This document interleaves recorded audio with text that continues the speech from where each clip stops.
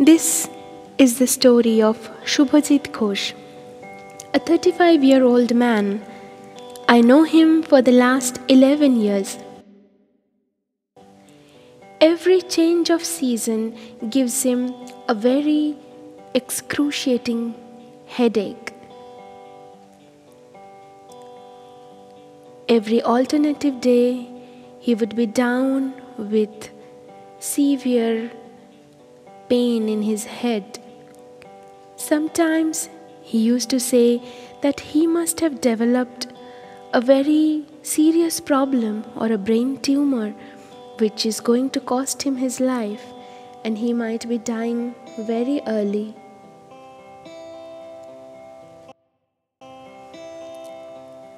He decided to have a past life session with me for this issue as continuous medicines, CT scans, and protection against weather, nothing was preventing the pain. Rather, the pain was increasing with age. We chose a day when he was already having the pain. Through progressive relaxation and organ dissection, he went into a very vivid past life journey.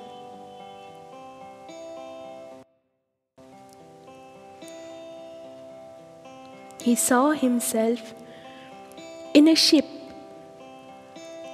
as he went into his past life.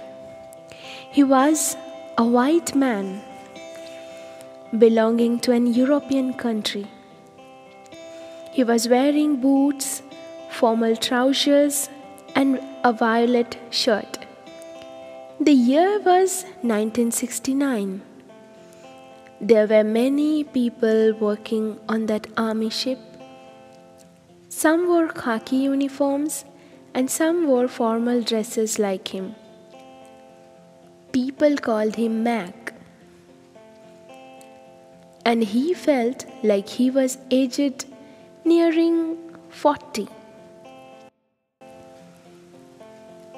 He saw a pinkish newspaper on the nearby table which was by the name Times with some other words which he couldn't read. Financial Times is a newspaper which used to be printed on a pink paper since 1893. Mac was a wealthy businessman who worked for the Navy ships helping them build ships and sometimes engineering works related to that. He saw himself making blueprints of plans and discuss it with the army men. He was a very respectable man who was admired by all. He worked with utmost involvement and passion. Mac saw himself having breakfast with a glass of wine and baked fish on the sh- ship. Mac lived in a huge ancestral castle. He had an old mother, his siblings, some children, and house staffs at his home. He was too much dedicated to his business and work and never got the time to get married. One day at a party, he met a woman named Sharon. He fell in love, and the relationship started just budding, and everything was going so well. One day he was upset with an employee. Suddenly, he felt an excruciating pain in his head. He saw a doctor, and the doctor suspected that he had a tumor in his head. Day by day, his health deteriorated, and he became very sad as he could feel that he was dying. The pain of being untimely ripped off from life became much greater to him than the physical pain caused by the disease.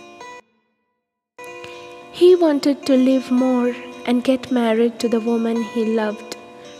But love came too late in that life, and life didn't grant him the time to fulfill his desires, to have a family and grow old with his love. He died with a heavy heart soon after. He saw his family members around his bedside and his in the life between life state he met Jesus Christ as his master. Jesus welcomed him with a smile full of love. Jesus touched his head and healed him of the physical pain and his mental agony of dying an untimely death. He saw many children in the astral realm who died untimely. He saw that all of them were happy and smiling. Gradually, his mind became free from the remorse of dying early and he started smiling. Jesus said he loves him. Mac saw angels and Mother Mary and Pieta, which is the dead Jesus in the lap of Mother Mary, and many celestial beings. In this life, he is a Hindu and a worshipper of Shiva, but he saw Jesus and also he saw Jesus and Shiva are merging into each other and he felt like they are actually one energy. He described the place so vividly and said that the place is all white. He took the gift of health from Jesus and felt that Jesus will take care of the rest. After coming back to consciousness, the first thing he said that the low light in the room is hurting his eyes, while the bright white light in the astral realm was so soothing. He woke up with a hearty smile and kept smiling with so much of positive energy just after the session. His headache was also gone. He recognized the feeling he had with Sharon was very similar with the feeling he is having with his current lifetime wife, although the physical appearance has changed. A soul always recognizes a soul. He got married considerably early in this life as he didn't want to lose his love again. He feared that he may die early whenever he had a headache, as he had an untimely death due to the tumor in his head.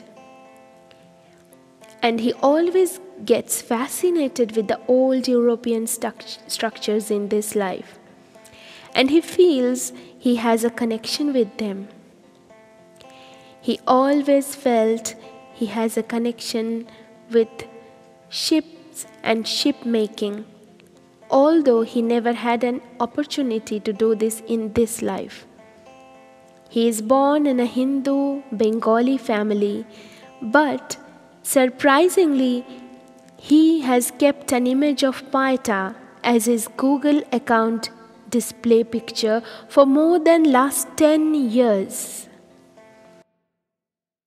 This was an amazing case and after his session till date he never had this severe headache whereas the seasons have changed from monsoon to summer to sultry weather and now to winter. Now we can hear him giving a little bit of his feedback with a little hint of humor from his side. Hello, This is Shubhajit Ghosh, and my issue is my headache. Uh, um, I used to have a headache for last 20 years or so. Uh, though it was an occasional one, but it used to get uh, acute during season change. And um, my one day my wife advised me, as she always does, she advised me to take a past life regression session from her. Um, in that PLR session, I came to know that in one of my past lives, I died because of a, a brain tumor. Possibly, this was the answer uh, of my chronic headache in this life. Um, and it's been more than three months from that uh, session, and uh, the headache never came back. And I hope it won't. and um, the PLR session was really wonderful and um, the magical part was uh, uh, the um, when I saw my spirit guide it was uh, Jesus Christ uh, it was like a dream uh, I just felt his love all over my existence and beyond. And that simplified a lot of things in my life. Um, and it was it was a magical moment. And it is something there in me with me. And what can i say now? Uh, um, i am thankful to my wife Rajoshree for uh, such a beautiful experience and wonderful experience uh, as I am thankful to her for marrying such a beautiful and uh, the best person in this world. Uh, jokes apart, uh, a big thank and regard to Trupti ma'am for pioneering such, such a wonderful journey uh, and uh, for all of you uh, big thank you big thank and regard and respect to all. Thank you